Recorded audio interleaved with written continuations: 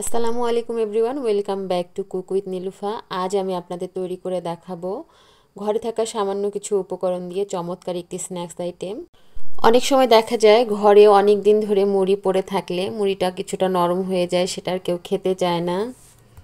সেরকমই নরম কিছু মুড়ি দিয়ে আমি আজকে আপনাদের এই চমৎকার স্ন্যাক্সটি তৈরি করে দেখাবো। তো শুরুতে এখানে আমি দেড় কাপ পরিমাণ মুড়ি নিয়েছি। তার মধ্যে দিয়ে দিচ্ছি এক টেবিল চামচ পেঁয়াজ কুচি, দুইটা কাঁচামরিচ কুচি আর দিয়ে দিচ্ছি দুই টেবিল চামচ ধনিয়া পাতা কুচি। নাস্তাটা যদিও এমনিতেই অনেক মুচমুচে হবে, তবে আরও একটু মুচমুচে এবং স্বাদ বাড়ানোর জন্য এখানে আমি একটি ডিম দিয়ে দিচ্ছি। তবে ডিম ছাড়াও আপনারা এই নাস্তাটি তৈরি করে নিতে পারবেন। ডিম ছাড়াও এটা খেতে অনেক ভালো লাগবে। এরপর এখানে হাফ চামচ হলুদের গুঁড়া আর হাফ চামচ লবণ দিয়েছি।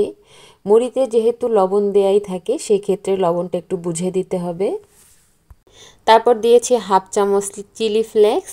তারপর দিয়েছি হাফ চামচ আদা রসুন বাটা। এখানে আদা রসুনটা একসঙ্গেই দেয়া আছে মানে দুটা মিলেই হাফ চামচ।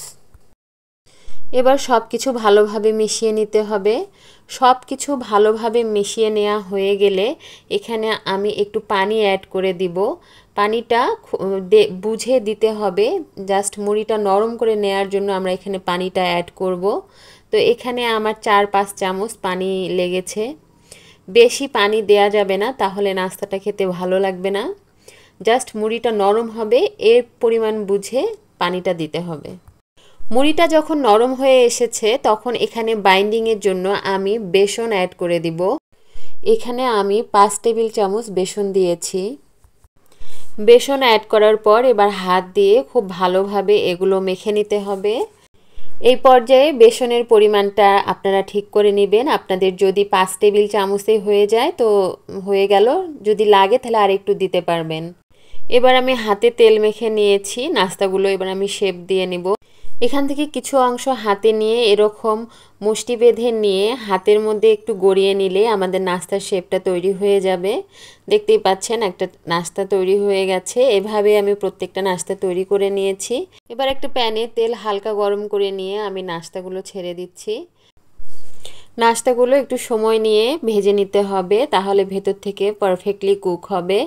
আমি এই নাস্তাটা আমার সম্পূর্ণ ভেজে নিতে প্রায় চার থেকে পাঁচ মিনিট সময় লেগেছে। তো সেরকম সময় নিয়ে আপনারা ভেজে নেওয়ার চেষ্টা করবেন। চুলার ফ্লেমটা একটু মিডিয়াম টু লোতে রেখে নাস্তাগুলো ভেজে নেওয়ার চেষ্টা করবেন। তাহলে ভেতর থেকে খুব সুন্দরভাবে এটা কুক হবে। আর খেতেও ভালো লাগবে। দেখতে পাচ্ছেন, মাত্র দশ মিনিটেই নাস্তাটি তৈরি করে নেওয়া যায়। তো আপনি এই নাস্তাটি কাউকে তৈরি করে খাওয়ালে কেউ বুঝতেই পারবে না যে আপনি এটা মুড়ি দিয়ে তৈরি করেছেন। এটা খেতেও খুব ভালো লাগে আর দেখতেও খুব সুন্দর হয়েছে, দেখতেই পাচ্ছেন। তো আমি এবার একটা নাস্তা আপনাদের ভেঙে দেখাচ্ছি, এটা ভেতর থেকে কতটা পারফেক্টলি কুক হয়েছে।